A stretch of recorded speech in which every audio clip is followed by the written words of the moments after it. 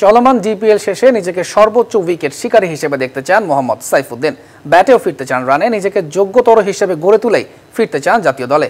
আর এজন্যই ঘরোয়া ক্রিকেটে মনোযোগী হতে চান শতভাগ। অবশ্যই আসলে ভালো তো কোনো শেষ নেই। সত্যি বলতে আমি আমার বোলিং এখনও পুরোপুরি হ্যাপি না। গেল বছরের তেরোই অক্টোবর জাতীয় দলের টি টোয়েন্টি ফরম্যাটের জার্সি গায়ে শেষবার দেখা গিয়েছিল মোহাম্মদ সাইফুদ্দিনকে। তার আগের বছর খেলেন শেষ ওয়ানডে কখনো ইঞ্জুরি কখনো বা ফর্মহীনতা ক্রমেই কঠিন হয়ে পড়ছে সাইফুদ্দিনের জাতীয় দলে ফেরা। তবে সেসব নিয়ে বাড়তি ভাবনা ভাবতে চান না এই অলরাউন্ডার আমি পারফর্ম করবই। আমার সবচেয়ে বড় অপোনেন্ট হচ্ছে আমার ইঞ্জুরি তো এটা আমার যতদিন ভালো থাকবে ইনশাল্লাহ আমি এখন পুরোপুরি সুস্থ এবং ফিট আমি মনে করি। তো ইনশাল্লাহ এটা যদি আমি কন্টিনিউ খেলতে থাকি ইনশাল্লাহ সুযোগ আসবে। জাতীয় দল থেকে ঝরে পড়াদের ফেরার রাস্তা দেখিয়ে দেয় ঘরোয়া লীগ। সেটাকেই আঁকড়ে ধরার চেষ্টা সাইফুদ্দিনের। জাতীয় দলে ফিরতে হলে এখন তাকে প্রতিদ্বন্দ্বিতা করতে হবে মৃত্যুঞ্জয়দের সাথে।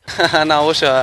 প্রথমত মৃত্যুঞ্জনকে কংগ্রেস জানাই। অবশ্যই অনেকদিন ধরে ভালো করে আসছে ঘরোয়া লিগগুলোতে আর অবশ্যই আমি আমার জায়গা থেকে চেষ্টা করব না বেস্টটা দেওয়ার। তো চেষ্টা করতেছি আরও কয়েকটা ম্যাচ সুযোগ আছে ভালো করার। আর যদি ভালো করতে থাকি অবশ্যই সুযোগ চলে আসবে। চলমান ডিপিএলে এ পর্যন্ত খেলা নয় ম্যাচে আবহাওয়ার হয়ে লিগের দ্বিতীয় সর্বোচ্চ। সতেরো উইকেট সাইফুদ্দিনের। লিগ শেষে নিজেকে সর্বোচ্চ উইকেট শিকারী হিসেবেই দেখতে চান এই পেস অলরাউন্ডার টুর্নামেন্ট শেষে যাতে পঁচিশ থেকে তিরিশ উইকেট পাই ওই প্রিপারেশনে আছে। আর যেহেতু লাস্ট দু তিনটা ম্যাচ কিছুটা টাফ অ্যাজ এ পেস বোলারদের জন্য, কারণ প্রথমে এক দুইবার পর আসলে খুব বেশি কিছু করার থাকে না অ্যাজ এ পেস বোলারদের জন্য। তারপরে টাফ কন্ডিশনে মানিয়ে নেওয়ার জন্য যেটা করার দরকার বা চিন্তা ভাবনা করার দরকার, সেটা নিয়ে ভাবতেছে। একজন পেস বোলিং অলরাউন্ডারের অভাব সবসময় অনুভব করে আসছে টাইগার স্কোয়াড সাইফুদ্দিনকে দিয়ে সেই ঘাটতি পূরণের যে সম্ভাবনা তৈরি হয়েছিল, সেটাও শেষ পর্যন্ত হয়ে উঠল কই? Shahan Papon, DBC news, Dhaka.